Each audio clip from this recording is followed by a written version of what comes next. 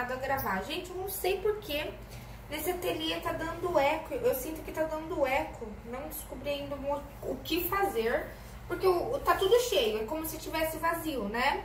Mas tá cheio aqui, eu, eu não sei o que fazer, gente. Vamos ver se melhora aí, vamos ver, né? A gente, de pouquinho em pouquinho, a gente vai melhorando aí a qualidade pra vocês. Então, o que que a gente vai fazer nesse vídeo? A gente vai fazer aqui aquele projeto, né, de laranja e roxo que eu tinha falado pra vocês que eu queria. E eu trouxe pra vocês uma opção de saída de praia e plus size naquela tela de algodão, né? Eu vou trazer este modelo aqui que vocês podem usar como saída de praia, que é um modelo mais elaborado, tá? Vocês podem então usar como saída de praia. Inclusive eu vi na Renner vendendo, tá na promoção por R$ reais, uma muito, só muda a estampa. O tecido é praticamente o mesmo. O preço normal é R$ 149,90, só pra vocês terem uma ideia, tá? E vocês podem usar como vestido ou também sobre o jeans, sobre um shorts. Vai depender se você colocar forro ou não na parte de baixo. Eu acho que eu não vou colocar forro. Eu acho que eu vou optar por deixar ela assim. E vamos ver como é que vai ficar, né? Então, vocês viram que eu abri aqui o meu tecido. Tanto o laranja quanto o roxo. O que que eu vou fazer? Eu quero, como eu disse pra vocês, eu quero brincar com aquele negócio de cores, né? Que tá usando bastante. Então, eu vou vir aqui, olha, este daqui é a parte das costas. Só que você vai repetir o, o processo que é igual na parte da frente. Por quê? Porque esse daqui a gente não vai cortar nada na dobra do tecido. Porque eu quero metade de cada cor mesmo, gente. Então, não dá pra cortar na dobra, na, na dobra do tecido as costas. E a frente, qual a diferença da frente? A diferença da frente é que tem o transpasse. Então, eu vou colocar aqui certinho, ó. Vou alfinetar, porque esse tecido, ele, né, escorre um pouquinho. Será que tá dando pra vocês verem aí? Vamos ver como é que tá isso.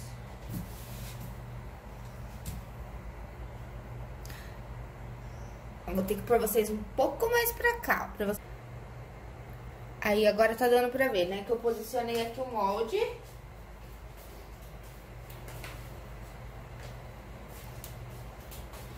E agora eu vou alfinetar isso daqui, gente.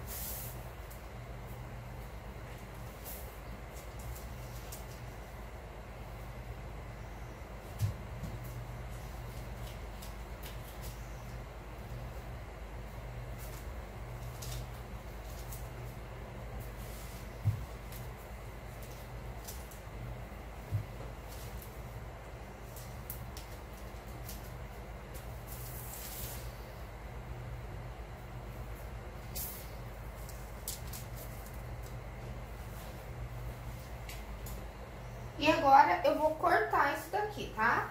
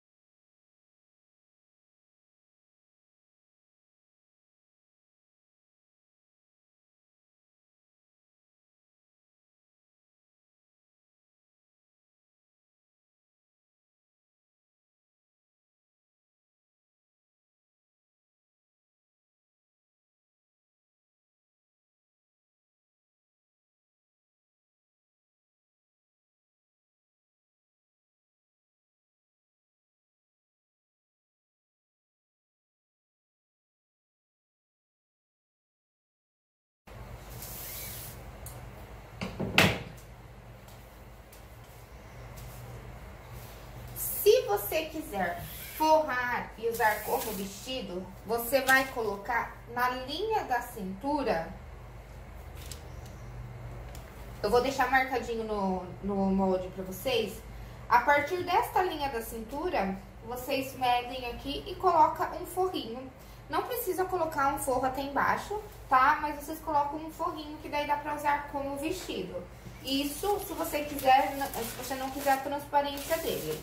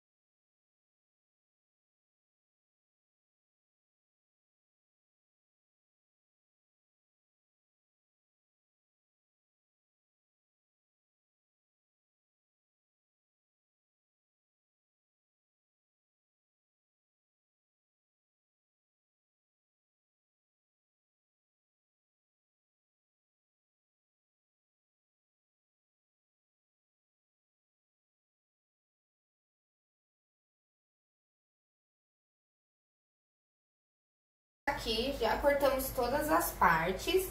Como eu disse, se você for colocar entretela, já pode cortar aqui, olha, as partes que você vai colocar entretela e já pode colocar. A entretela que eu uso é aquela entretela termocolante, então ela é bem facinho, é só passar no ferro, tá, gente? É muito simples mesmo. É, tanto a de malha como a de blazer, é só passar no ferro ela, então é bem fácil de colocar. Já ensinei aqui em vários vídeos vocês a colocarem entretela. Então, olha onde eu vou colocar a minha entretela. Vou colocar, deixa eu tirar esses alfinetes aqui. Vou colocar aqui na gola e vou colocar aqui nessa parte do transpasse, tá certo? É, a gente tem aqui, olha, uma pence pra fechar, essa pence aqui, então eu tenho que marcar ela, tá? Essa daqui não é pra fechar, ela não vai estar tá no molde, só essa daqui, mesma pence do busto. Então, eu vou marcar ela com carbono. Também já ensinei vocês a usarem carbono. Vou deixar ela marcadinha pra me fechar isso na máquina. A gente vai costurar esse tecido, é um tecido fino. A gente vai costurar na máquina reta doméstica. Você pode usar aí agulha é, de cabeça é, prata, tá? Porque não é tecido com elastano. Então, você pode usar a agulha de cabeça prata, número 11, que vai ficar super, super de boa. Se você tiver overlock, aconselho a fazer os acabamentos internos na overlock. Ou você pode passar o ponto zigue-zague, tá? Na, na sua máquina doméstica, se você não tiver. Ou você pode fazer outros tipos de acabamento com viés, fica bem elegante também, tá? Dá mais trabalho, mas fica aí bem mais bonitinho com viés por dentro, esse tecido fino. Então agora eu vou começar a fazer essas partes aqui que eu falei pra vocês. Vou acelerar o vídeo para não ficar muito longo, até porque já são partes que eu já ensinei vocês a fazerem.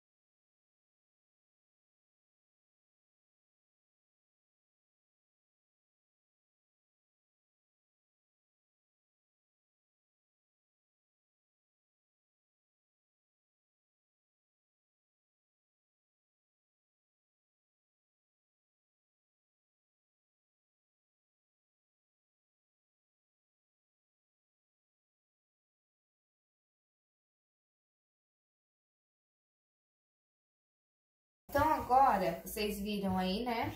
Que eu coloquei carbono. Então.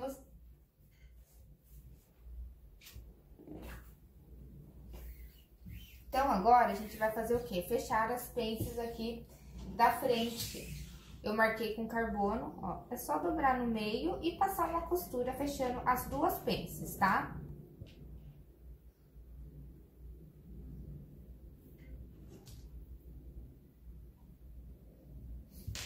Depois que você fechou a pence, você já pode vir aqui onde a gente passou a entretela e vai dobrar isso daqui pra dar o acabamento, ó. E passar uma costura também. Ó. Só fechar aqui pra dar o acabamento.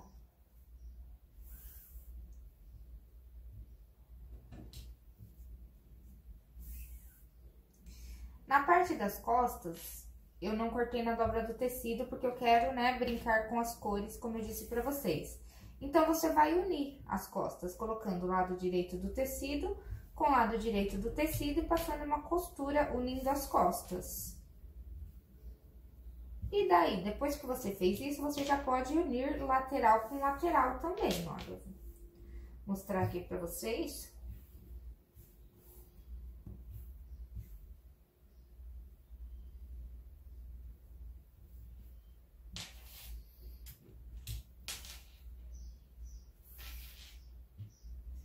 Eu não vou fechar toda a lateral, tá? Eu vou deixar ela aberta.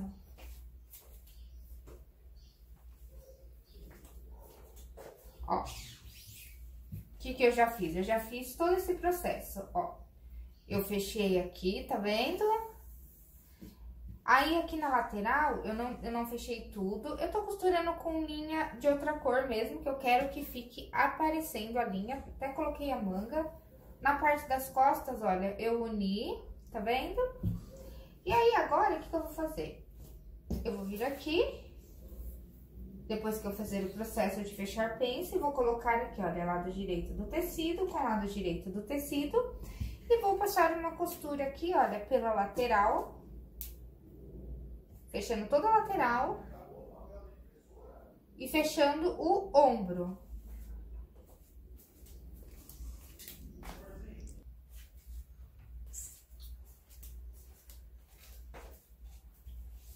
Depois que você fazer isso, você já vai pegar as mangas e vai colocar lado direito do tecido com lado direito do tecido e vai passar uma costura fechando a lateral. Aí, o que que eu fiz? Eu passei o ponto franzido aqui, olha, na parte superior, só pra ficar mais fácil, fácil na hora de encaixar ali. O ponto número 5 é o maior ponto da sua máquina, e aí você vai dar uma leve franzidinha só pra ficar mais fácil na hora de encaixar na cava ali, tá? Porque quando a gente tá tra trabalhando com tecido plano, é, a manga sempre fica maior do que a cava, né? Então, pra facilitar na hora do encaixe, é sempre bom você passar aí um ponto franzidinho só pra facilitar aí na, na hora de você encaixar ali, tá certo? Mas não precisa franzir muito, não. Também já vamos pegar a gola, né? Então, nós vamos pegar aqui, vamos colocar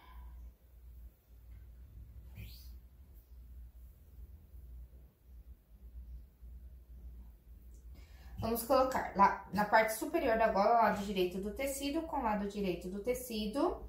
E vamos fechar a nossa gola aqui, deixando aberto somente a parte de baixo, tá? Aqui com a parte de baixo, virada pra cima, vou vir aqui com a parte da minha gola, que já tá, vai estar tá costuradinha, né? Vai estar tá fechadinha assim.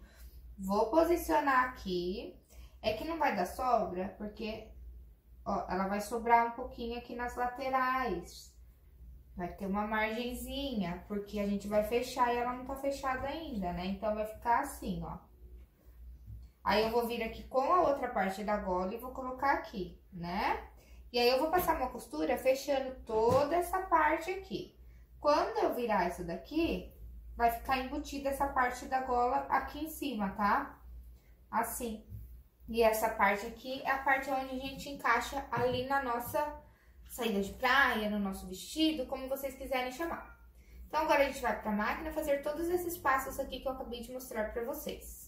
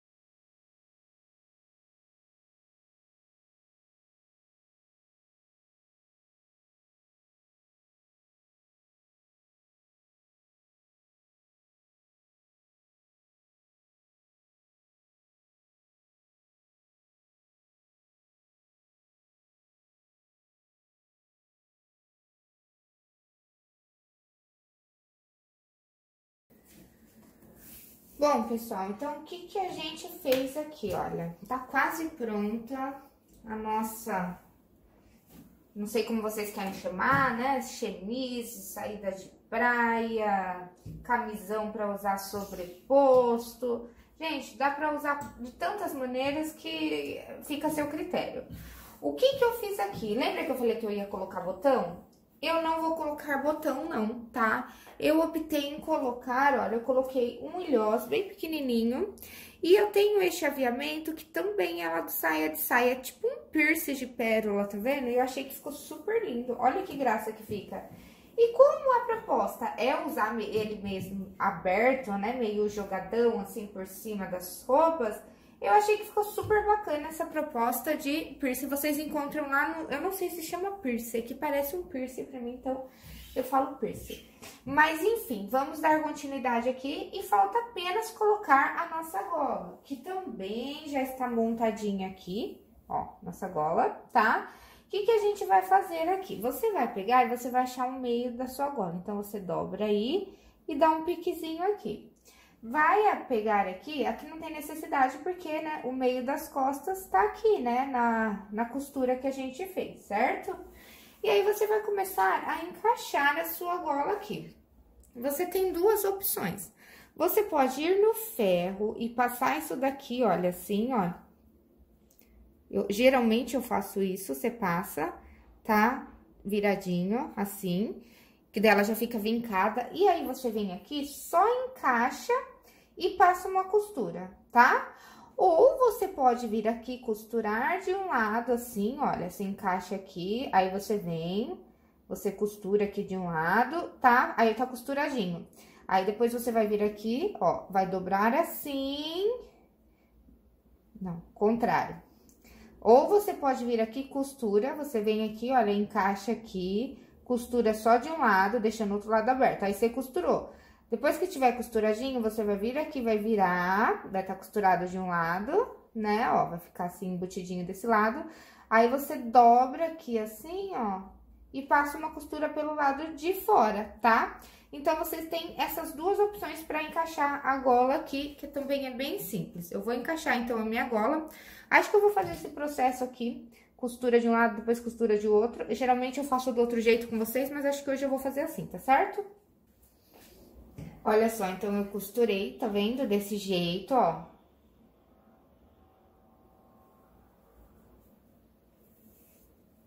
E agora, eu vou vir aqui, ó, vou jogar o que sobrou aqui pra dentro. Peraí aqui. Ah, não. Achei que tinha dado uma prega aqui, ó.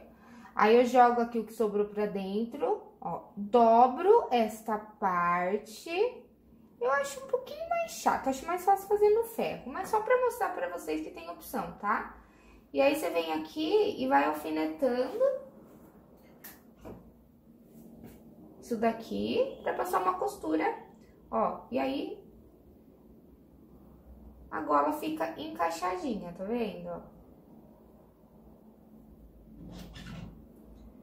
Você vai fazer isso com toda a gola. Aqui nas pontinhas é o mais chato, porque tem que bater, tá vendo? Então, por isso que eu acho mais... Eu, eu acho mais chato fazer assim, porque do outro jeito eu acho que o acabamento aqui nas pontinhas ficam bem melhor. Mas dá pra fazer assim também, ó, ó. Tá? Deixa eu tirar essa linha daqui, né?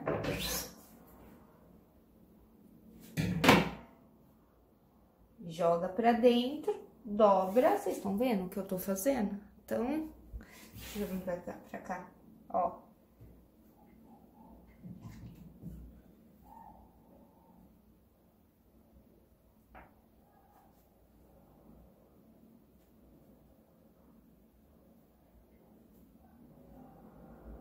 Se você não tiver prática, alinhave essa parte aqui, tá? Fica bem mais fácil para quem não tem prática alinhavar isso daqui.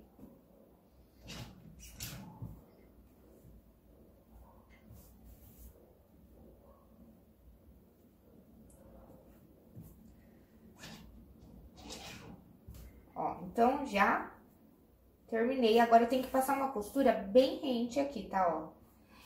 E aí, eu só vou confirmar aqui antes de fechar pra ver se tá batendo aqui, ó. Essa parte aqui vai pra dentro, tá? Mas, ó, tá batendo, tá certo?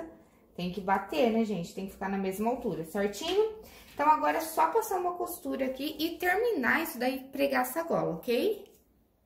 Tá aqui o resultado final, olha. Aqui vocês... É difícil ver, assim, a peça, né, na mesa, mas aí no corpo vocês conseguem ver melhor. Eu vou tentar colocar alguns looks que dá pra vocês usarem, tá? Pra vocês verem que ela é uma peça bem versátil.